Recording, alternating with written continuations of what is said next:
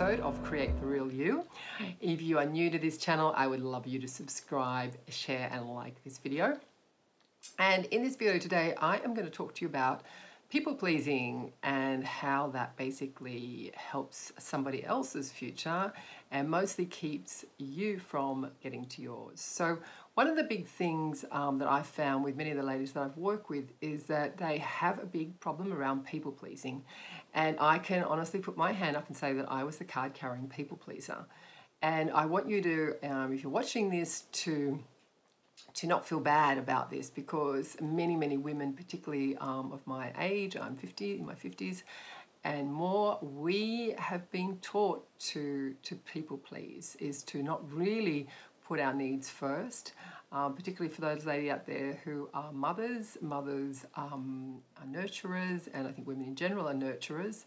So often we are very much taught to number one, look after the, our immediate families, and then what we do is we tend to carry over that into our lives, our creative lives, and our business lives, um, and our relationships. So we will often do what everybody else wants us to do and not what we want to do.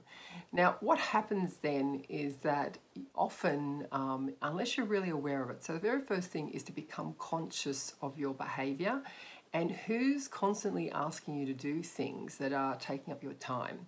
And then the very second thing that you need to do and have a look at is when are you saying yes and you're excited and, happy about it? And when are you saying yes and you feel resentment?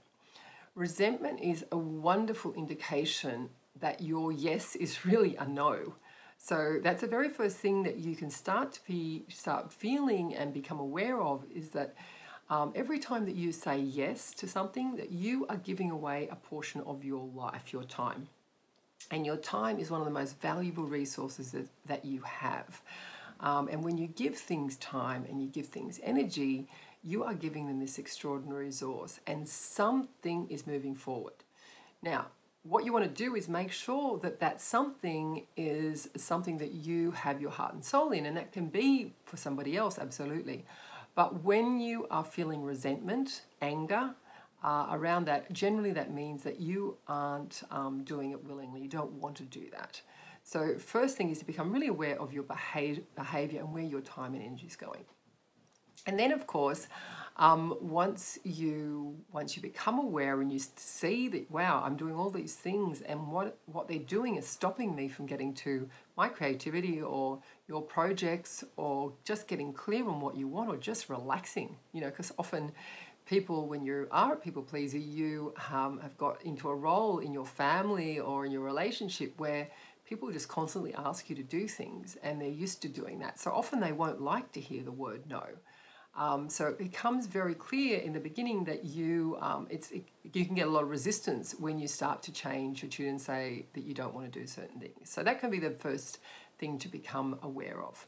But what I want you to do is to know that until you recognize um, where how the people pleasing is really showing up in your life and how it's taking away from your future and your goals and what you want to bring into your life, then you can't actually stop it. So you need to be aware first of your behavior. And then the first big tip is to start seeing where the most resentment is, and they're the places that you need to say no and start creating clear boundaries around those those particular people or those particular incidents. So that's today's tip.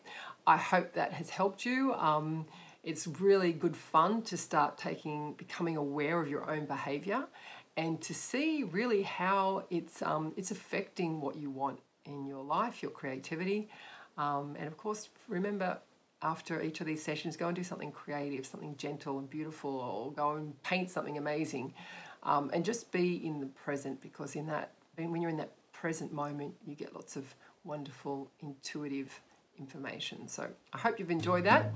Um, and i